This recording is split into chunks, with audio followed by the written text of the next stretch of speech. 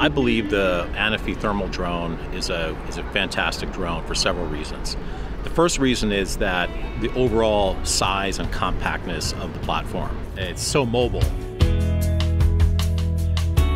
Another thing that I really like about the Anafi Thermal is that it's, it's so simple to use. A big part of our business model is that we train our clients to fly drones and collect their own data.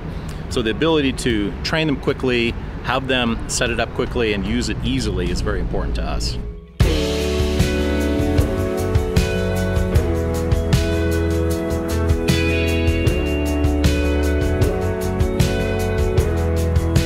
The camera is very compact as well.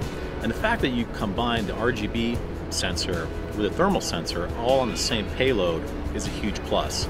I can now do inspections of a roof, for example, or electrical equipment, or other machinery and equipment with uh, combined thermal and RGB imagery together and be able to have a realistic view of the thermal image.